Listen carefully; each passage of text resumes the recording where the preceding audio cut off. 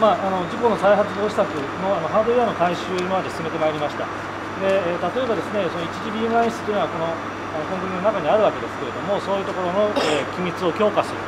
とかですね、この向こう側のこのあのコンクリのブロックがたくさん積んであるところがの下がですね、一次ビームライン室というところになります。でこの中のちょうど今の照らしてあるこの向こうあたり奥の方にの金属の標的が設置されております、まあ、正規の排気設備というのを設けました。でその排気設備というのはこの実験ホールの中の空気を、管理して放射線を測定しながらフィルターを通して外へ出すというようなシステムを作りました。そのですね排風ファンのためのダクトはこの天井に見えます。この銀色の四角いものです。ここにずっとこうダクトが走っております。これですね。でこのダクトで吸われた空気がフィルターとそれから排風ファンを通ってこの外にある排気スタッフから排出されると。これがハザードなんですね。ちょっと見にくいんですがこれがそうなんですね。これ。例えばこの天井部にはですねシートを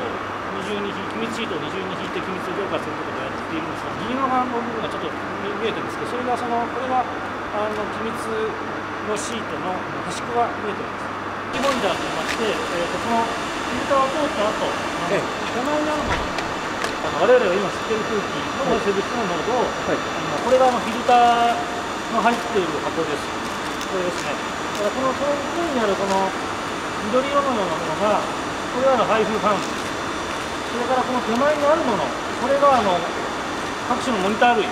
番手前にあるこれがですね空気モニターといった我々が今吸っている空気の生物の濃度を、はい、あの見ている、空気モニターでこの向こう側にあるやつはその排気する空気の生物の濃度を測っているのがこの動きの2つになります。